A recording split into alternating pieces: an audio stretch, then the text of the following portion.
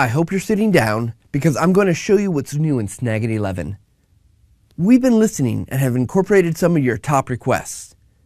We've beefed up our pre-installed outputs to make it easier and faster to share your content with others.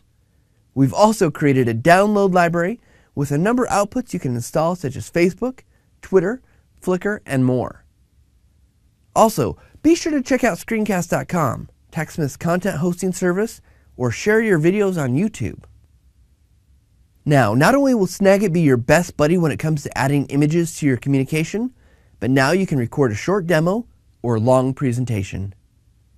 As mentioned, when we talked about outputs before, the all new MP4 video in Snagit is easy to share with others, whether they're watching on a Mac or a PC, a web browser, or a mobile device.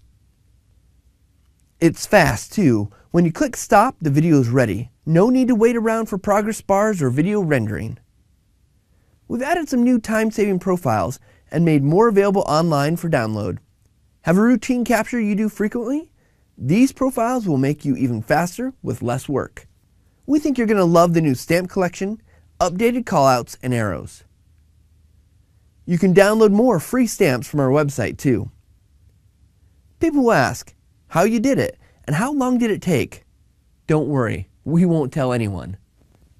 There's more, but this will have to do for now. To learn more about these features, check out our website and other free tutorials. Want to send us some feedback or make a case for something you didn't see in this release? We've got our ears on at feedback.techsmith.com.